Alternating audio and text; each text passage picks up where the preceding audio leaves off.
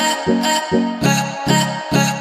दोस्तों, अगर आप के राहुल को एक बेहतरीन खिलाड़ी मानते हैं तो हमारी इस वीडियो को लाइक ज़रूर कीजिएगा। दोस्तों, आईपीएल 2022 में सभी टीमें शानदार प्रदर्शन कर रही हैं और ऐसे में आईपीएल का बारवा मुकाबला बहुत ही शानदार तरीके से खेला गया, जिसमें हैदराबाद, लखनऊ की टीम आमने सामने खेलती हुई दिखाई दी और इस मुकाबले में दर्शकों का मनोरंजन बहुत ही शानदार तरीके से हुआ। चलिए दोस्तों, आपको इस रोमांचक मुकाबले की हाईलाइट्स के बारे में बताते हैं, लेकिन उससे पहले राहुल त्रिपाठी और के राहुल में कौन है शानदार, बेहतरीन बल्लेबाज? इस बात का जवाब हमें नीचे कॉमेंट सेक्शन में ज़रूर दीजिएगा। दोस्तों, आईपीएल आईपीएल का बारवा मुकाबला दो खतरनाक टीम लखनऊ और हैदराबाद के बीच में खेला गया। इन दोनों टीमों के बीच में आपस में पहला मुकाबला खेला जा रहा था और हैदराबाद के कप्तान केन विलियमसन ने टॉस जीतकर गेंदबाजी करने का फैसला किया और अपनी टीम में कोई बदलाव नहीं किया। तो दूसरी तरफ़, लखनऊ की टीम ने एक बदलाव दुश्मनता चमीरा की जगह जेसन होल्डर को खिलाकर किया और बल्लेबाजी के लिए लखनऊ की तरफ़ से आईपीएल के सबसे खतरनाक ओपनिंग जोड़ी कप्तान के राहुल और क्विंटन डिकॉक आए और इन दोनों खिलाड़ियों ने लखनऊ की टीम को बहुत ही बेहतरीन उम्मीद दिखाई। थी। क्योंकि क्विंटन डिकॉक जो कि पिछले मैच के हीरो रहे और उन्होंने अपने विकेट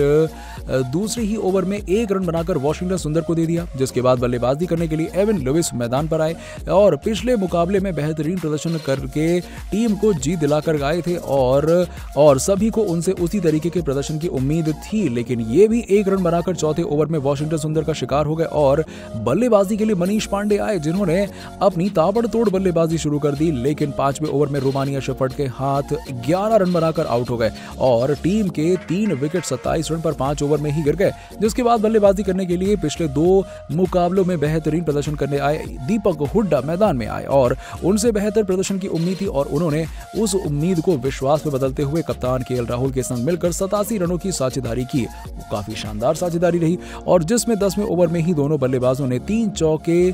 के साथ और एक छक्के की मदद से 20 रन बटोरे और और चौदहवें ओवर में दो चौके और एक छक्के की मदद से 16 रन बटोरे तो वहीं पंद्रहवें ओवर में दीपक हुड्डा ने अपना अर्धशतक इकतीस गेंदों पर पूरा कर लिया और, लेकिन सोलहवें ओवर में दीपक हुड्डा ने तैंतीस गेंदों पर तीन छक्के और तीन चौकों की मदद से इक्यावन रन बनाकर अपना विकेट रोमानिया शेफर्ड को दे दिया और इसी ओवर में कप्तान राहुल ने अपना अर्धशतक पूरा कर लिया और बल्लेबाजी करने आए पिछले दो मुकाबलों के हीरो और युवा खिलाड़ी आयुष और उन्होंने आते ही अपनी शुरुआत चौके के साथ साथ कर दी और वहीं सत्रहवें ओवर में दोनों बल्लेबाजों ने मिलकर दो चौकों के साथ एक छक्के की मदद से 16 रन बटोर लिए। लेकिन उन्नीसवें ओवर की पहली गेंद पर राहुल 50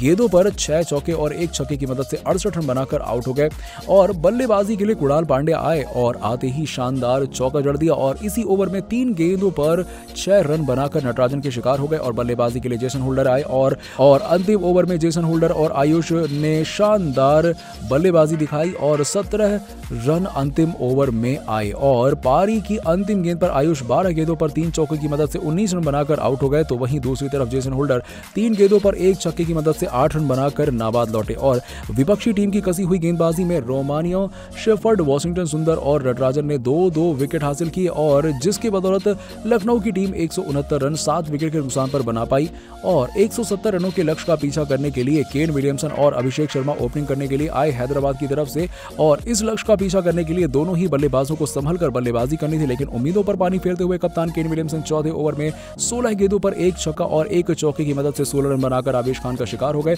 जिसके बाद बल्लेबाजी करने के लिए राहुल त्रिपाठी मैदान पर आए और जिनसे बेहतरीन प्रदर्शन करने की उम्मीद सभी को थी, क्योंकि उन्होंने लगातार आईपीएल में बेहतरीन प्रदर्शन किया था, जिस कारण से हैदराबाद की टीम में विश्वास दिखाया और विश्वास के तौर पर उन्हें खरीदा और वहीं पावर प्ले के अंतिम ओवर में आवेश खान ने अभिषेक शर्मा को 11 गेंदों पर दो चौके की मदद से तेरह रन बनाकर आउट कर दिया और बल्लेबाजी के लिए एडम मार्क्रम को भेज दिया। अब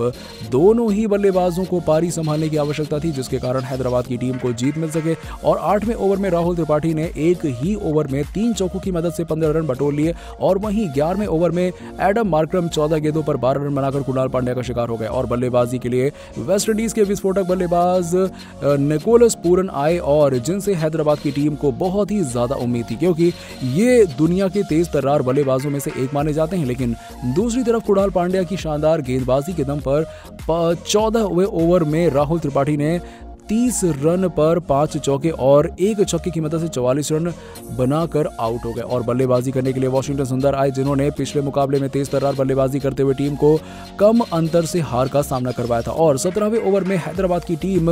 का स्कोर एक सौ सैंतीस रन पर चार विकेट के नुकसान पर हो गया था और इसके बाद हैदराबाद की टीम को 18 गेंदों पर जीत के लिए 33 रनों की ज़रूरत थी और गेंदबाजी की ज़िम्मेदारी आवेश खान को सौंपी गई और उन्होंने पहली ही गेंद पर निकोलस पूरन के हाथों छक्का खा लिया और वापसी करते हुए दो गेंदों पर दो विकेट ले लिए और जिसमें निकोलस पूरन को 24 गेंदों पर तीन चौके और दो छक्कों की मदद से 34 रन बनाकर आउट किया और इसके बाद बल्लेबाजी करने आए अब्दुल समद को बिना खाता खोले ही भेज दिया और अब बल्लेबाजी के लिए रोमानिया सेफर्ड मैदान पर आए और अब छह गेंदों पर जीत के लिए 16 रनों की आवश्यकता थी, लेकिन अंतिम ओवर में जैसन होल्डर ने पहली ही गेंद पर 14 गेंदों पर एक चौके के साथ 18 रन बनाने के बाद वॉशिंगटन सुंदर को आउट कर दिया और भुवनेश्वर कुमार को भी एक रन बनाकर आउट कर दिया और अंतिम गेंद पर रोमानिया शेफर्ड को भी आठ गेंदों पर एक छक्के के साथ आठ रन बनाकर आउट कर दिया और 20 ओवर में हैदराबाद की टीम को एक सौ सत्तावन रन, नौ विकेट के नुकसान पर रोक दिया जिसमें सर्वाधिक आवेश खान ने चार, जेसन होल्डर ने तीन, कुणाल पांड्या ने दो विकेट हासिल किए और मुकाबले को 12 रन से लखनऊ की टीम जीत गई। तो दोस्तों, इस मुकाबले में किस खिलाड़ी ने सर्वश्रेष्ठ प्रदर्शन किया, इस बात का जवाब हमें नीचे कमेंट सेक्शन में ज़रूर दीजिएगा और ऐसी ही खबरों के लिए सब्सक्राइब कीजिए हमारे यूट्यूब चैनल को। धन्यवाद।